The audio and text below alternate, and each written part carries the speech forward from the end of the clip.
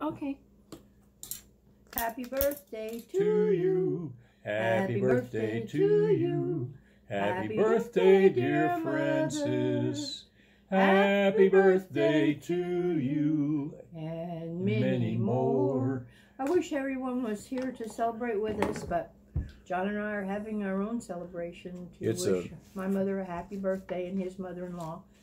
So Lord bless you all, and we're thankful that we that I had such a wonderful mother, and you guys did too.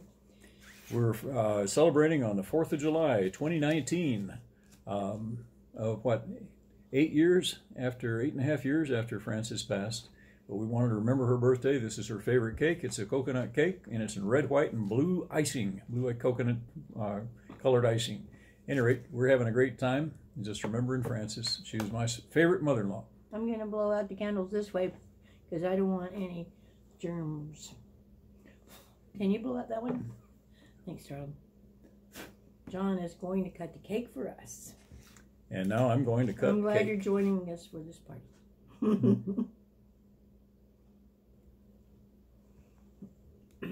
it's been in the refrigerator. I think this cake has been in the freezer, actually. I'm not sure. And we got uh, vanilla chunky chocolate ice cream. Mmm. Since it's for your mama, you get the first piece of cake. Thank you. Mmm, looks wonderful. I'm gonna have a bite of it and then Of course, we won't say anything about this uh, calories. so far as sugar content goes. It's a special occasion. It's the 4th of July. We can Mm. celebrate a bit. Bye, everybody. Thanks for joining the party. Bye bye.